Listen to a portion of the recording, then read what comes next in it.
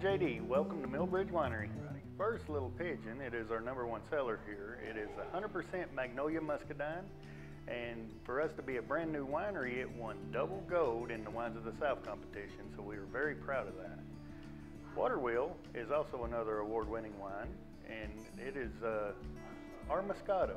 Very sweet and one of our best sellers also. Now what separates us from the other wineries in the area is our hard ciders. We carry four different flavors at any given time, ranging from sweet, semi-sweet, and dry.